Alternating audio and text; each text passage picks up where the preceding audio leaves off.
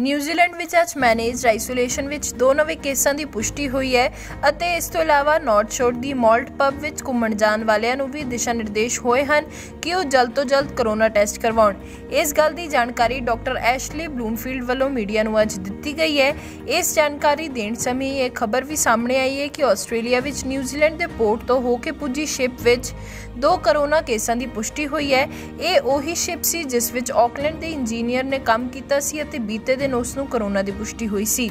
Doctor Ashley ਬਲੂਮਫੀਲਡ ਵੱਲੋਂ New Zealand ਵਾਸੀਆਂ ਨੂੰ ਹਦਾਇਤ ਦਿੱਤੀ ਗਈ ਹੈ ਕਿ ਜੇਕਰ ਨਿਊਜ਼ੀਲੈਂਡ ਵਾਸੀ ਚਾਹੁੰਦੇ ਹਨ ਕਿ ਹਾਲਾਤ ਨਾ ਵਿਗੜਨ, ਤਾਂ ਉਹ ਕੋਵਿਡ ਟ੍ਰੇਸਰ ਐਪ ਜ਼ਰੂਰ ਤਾਂ ਉਹ ਕੋਵਿਡ ਟ੍ਰੇਸਰ ਐਪ ਦੀ ਵਰਤੋਂ ਜ਼ਰੂਰ ਕਰਨ, ਕਿਉਂਕਿ ਉਸ ਨਾਲ ਟ੍ਰੇਸਿੰਗ ਕਰਨ ਵਿੱਚ ਆਸਾਨੀ ਰਹਿੰਦੀ ਹੈ ਅਤੇ ਇਸ ਤੋਂ ਇਲਾਵਾ ਜਨਤਕ ਥਾਵਾਂ ਉੱਤੇ ਮਾਸਕ ਵੀ ਪਾਏ ਜਾਣ।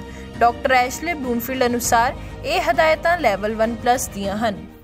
So there are two new cases of COVID 19 to report today. Both are imported cases in managed isolation facilities. The first of these cases arrived on the 19th of October from the Netherlands via Dubai, and the second arrived on the 21st of October from Doha. They were both tested on arrival as they had developed symptoms during the flight. Uh, they are both now in the Auckland quarantine facility and, in fact, would have been taken there from the flight.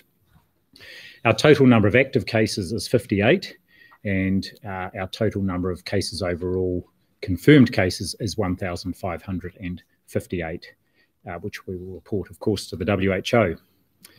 Yesterday, our labs processed 7,083 tests, and our grand total now is 1,047,994. An update on Christchurch. So, the number of cases in the managed isolation facility at the Sudima Hotel is the same and it remains at 18.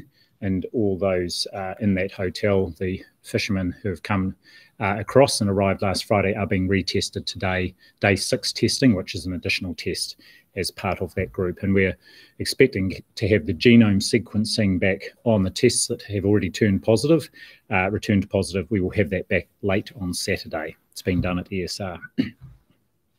Shifting then to Auckland, uh, last night, as you're aware, we issued an alert through the NZ COVID Tracer app at about seven o'clock last night to people who had been at the Malt Pub in Greenhithe last Friday night. Um, this was because one of the cases we reported yesterday, who was a workplace contact of the port worker that we reported over the weekend, um, had visited that pub between 7:30 and 10 p.m. last Friday. So I also just want to take a, a, moment to thank the media as well for your support in getting that message out to the public last evening and this morning. So anyone who was in the pub on Friday night and their and their household contacts, I want to emphasise that, and their household contacts who are potentially contacts of possible contacts, they should uh, self-isolate and get a test for COVID-19. And this is important. Please remain in isolation till you receive your results. I'm very conscious people don't want to be sitting around over the long weekend waiting for their result. So we are, uh, have put in place a process to make sure that people are notified immediately that their uh, result has been processed and reported back uh, as quickly as possible.